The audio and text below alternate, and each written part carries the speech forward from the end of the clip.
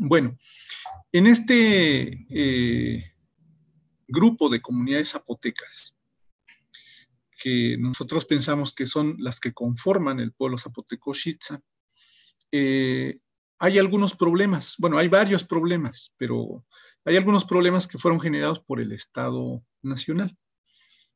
Por ejemplo, el río Cajonos divide a los distritos de Ixtlán y Villa Alta,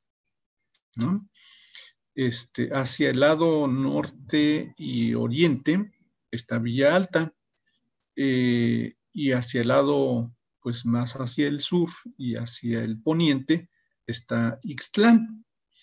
Nosotros podemos ver a las comunidades que están en la cuenca, por ejemplo, de la microcuenca esta del rincón de Ixtlán, pues enfrente de Yagavila se ve Yagayo, se ve, ¿qué otra se ve? La Chichina, ¿verdad? Este, y, y, de la Chichina o de Yagayo, pues vamos a ver Yagavila, vamos a ver Teotlasco, principalmente, son las que se alcanzan a ver a simple vista. Este, y la gente tiene compadres, ¿no?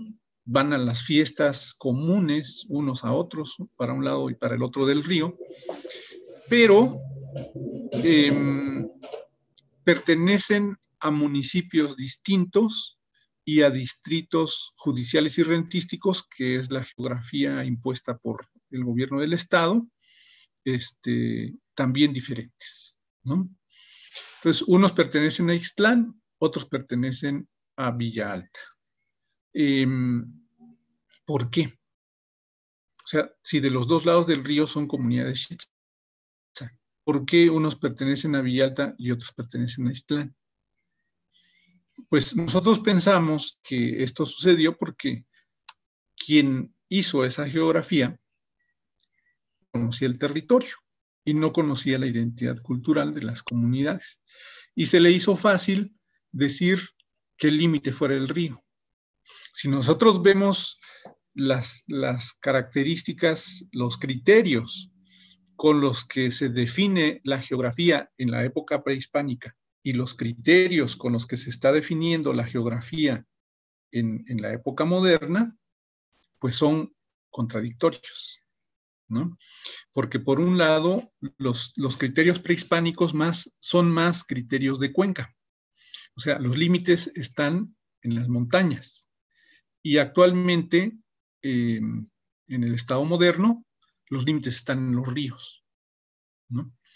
¿Y qué sería más correcto o, bueno, a lo mejor no, no, no necesariamente tendríamos que hablar de correcto, pero ¿qué nos da más identidad? la separación del río o la separación de la montaña.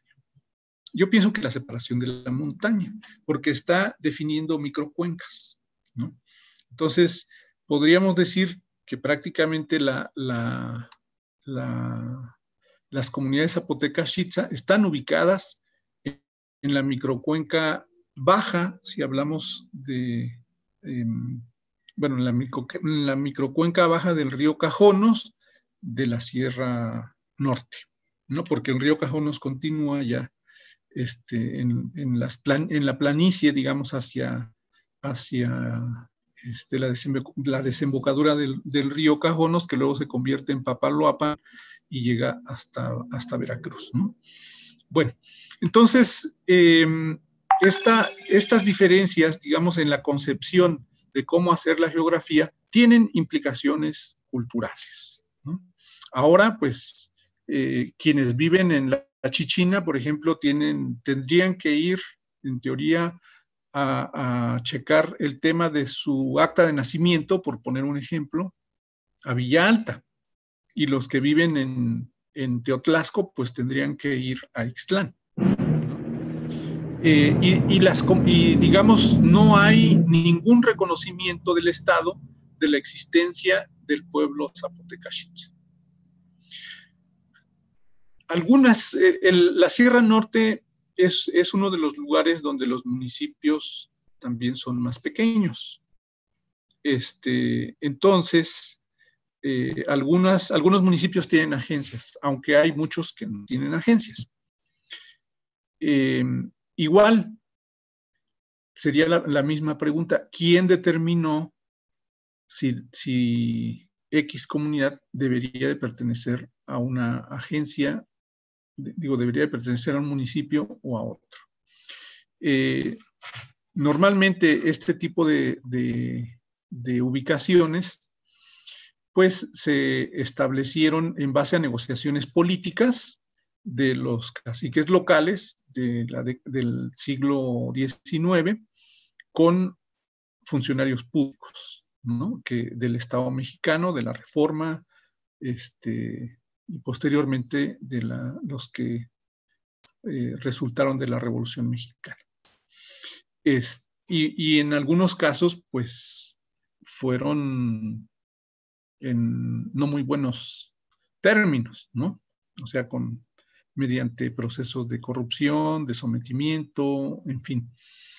Em, entonces aquí tenemos un segundo problema, porque las comunidades Shitza tienen que, las comunidades Shitza que no son cabeceras municipales, tienen que eh, estar dependiendo de, de las cabeceras municipales cuando no han logrado un acuerdo para poder eh, tener una organización política que realmente pueda representar los intereses de todos. Esto lo voy a abordar un poquito más adelante. Em, entonces, eh, tenemos comunidades que pertenecen al distrito de Villalta, al distrito de Ixtlán, y comunidades que pertenecen a distintos municipios algunas como agencias municipales, otras como agencias de policía y otras como cabeceras municipales. Para el Estado ha sido muy cómodo en general eh, poder este, lograr el control político de, las regiones a través de las cabeceras municipales. Y durante mucho tiempo, cuando el PRI estuvo en el, poder, el siglo pasado, prácticamente todo el siglo pasado, este, eh, pues le ordenaban a los presidentes municipales, bueno, pues queremos los votos de todas las agencias y de todo el municipio. Y pues ahí van los votos, ¿no? A mí me tocó ver todavía en algunos municipios, en algunas localidades, cómo llegaba la gente, se formaba en la urna y delante de todos y del presidente municipal que estaba ahí, tenía que ir tachando las boletas electorales a favor del PRI, porque eso se convirtió en la costumbre del Estado para poder lograr las elecciones para diputados, senadores, gobernador y presidente de la República. A las comunidades les dejaron la posibilidad de que pudieran elegir a sus presidentes municipales y a sus agentes municipales. Eso de alguna manera garantizó cierta estabilidad para el gobierno en el estado de Oaxaca, porque si la comunidad decidía, pues ya eh, era un problema de la comunidad si decidía mal o si decidía bien, pues ya no era un problema para el Estado, ¿no? Este, y em, digamos que a lo largo de la, de la colonia, eh, la forma de organización que impusieron los españoles eh, y, en la que los pueblos indígenas contribuyen también, logra un modelo de, organización comunitario en el cual existe un sistema de cargos. Eh, durante mucho tiempo y todavía en muchas agencias municipales sigue siendo un sistema de cargos gratuito, ¿no? En algunos municipios en los últimos años han empezado a, cobrar dietas y eso también está metiendo ruido. Este, pero em, podríamos decir que en esas comunidades se pudo vivir durante mucho tiempo y más cuando estas comunidades estaban aisladas, de manera autónoma. Las comunidades resolvieron sus problemas durante mucho tiempo sin la necesidad del Estado. En los últimos años, después del 85, cuando el Estado empieza a enviar recursos a los municipios, las participaciones municipales y estas cosas, eh, se, empieza a generar este, un nuevo conflicto por, porque no se distribuyen bien los recursos económicos, porque el presidente municipal no le hace caso a las agencias, solamente este, funciona para su cabecera municipal. Y esto es porque al Estado pues no le importaba que hubiera una participación de todos los ciudadanos del municipio en la elección de su presidente municipal. Entonces, se, desentendió de la elección y dejó que en las cabeceras municipales se eligiera al presidente municipal que iba a gobernar a la cabecera y a todas las agencias. Y como durante mucho tiempo no hubo recursos económicos, pues no hubo problema. Entonces, cuando empiezan a haber recursos, se empiezan a generar este tipo de, problemas o cuando se da la posibilidad, por ejemplo, de, este, hacer gestiones, pues piden la, firma del presidente municipal y la gente no la tiene, entonces tiene que ir a pedir el favor eh, y se encuentra entonces en una situación de subordinación frente a eh, el presidente que es de la cabecera municipal. Esto generó conflictos, ¿no? Y, sigue generando conflictos en, en, varias comunidades. En algunos se ha resuelto de otra manera, en otros se ha ocultado, en otros se ha impuesto una decisión incluso avalada por el Estado mexicano.